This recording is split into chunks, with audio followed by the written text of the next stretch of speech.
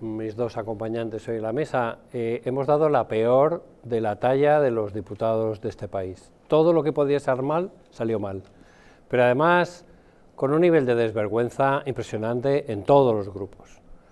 Empezando por el del gobierno, ¿por qué hay que decir que no se puede negociar con todos los demás grupos lo que ha salido del acuerdo de sindicatos y empresarios?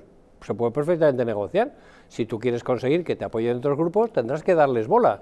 ¿Por qué le dices al PNV y Esquerra, no, no, no, ni se toca? Oye, perdona, pues se puede tocar, se cambió el plan de pensiones y no pasó nada. Y, si, y si los empresarios dicen, ah, pues si habéis tocado tal cosa, yo ya no lo apoyo. Da igual, es decir, las leyes las hace el Parlamento. Con lo cual, es raro que el gobierno llegue con un trágala, oye, pues ni se toca. Pues vaya bobada, se puede tocar. Eso, el gobierno.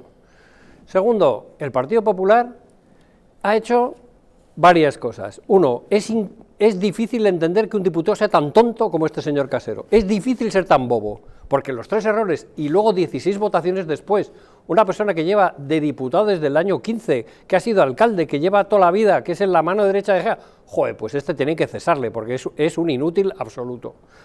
Perder una votación tan importante por un bobo como ese es increíble.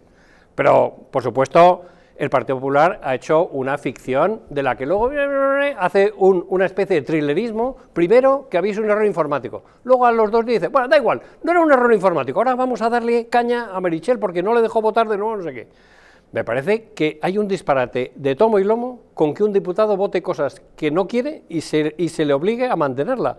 Pero es verdad que como estuvieran todos los diputados, no, no, perdona, que me equivoco, ahora voy a votar otra vez. Oye, me parece mucho mejor este sistema de tres comprobaciones que tener que llamar a un tío que no lo coge, oye, que entra a la votación. Dice, aquel sistema era peor, yo me fío mucho de la informática. Era mentira que había habido un error informático y me parece